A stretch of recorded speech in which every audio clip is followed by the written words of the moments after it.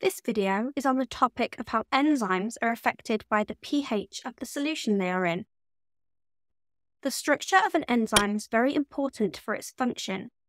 Enzymes have a specific 3D structure and active site shape that allows them to fit with their substrate as part of the lock and key model.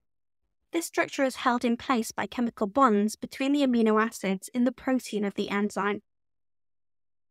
The bonds holding together the amino acids in the enzyme are specially adapted to withstand specific pH conditions.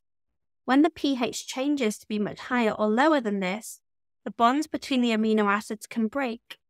When the bonds break, the active site of the enzyme loses its shape and the enzyme becomes denatured, meaning the active site can no longer bind to the substrate and the enzyme cannot catalyze reactions.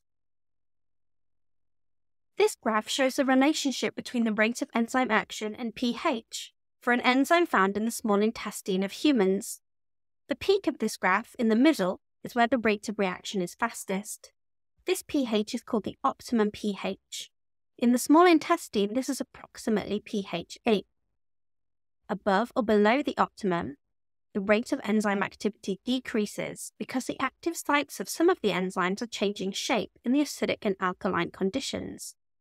At extreme pH conditions above and below the optimum, the active sites of all the enzymes become denatured and the enzyme activity stops. Make sure you're familiar with this graph because you may be asked to draw, describe, or explain it. Not all enzymes have the same optimum pH as each other and are instead adapted for the conditions of the area of the body in which they normally function.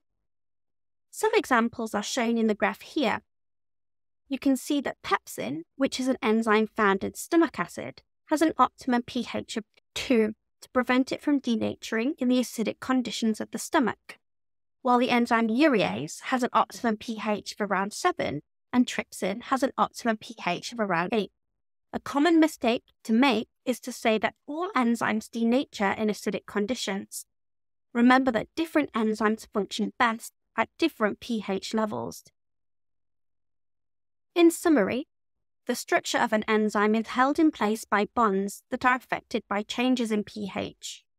When the pH becomes too high or low in comparison to the optimum, it causes the bonds holding the enzyme structure together to break, changing the shape of the active site and preventing it from being able to bind to the substrate.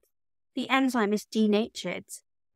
The pH that allows the enzyme to have the fastest rate of reaction is called the optimum pH and this varies for different types of enzyme.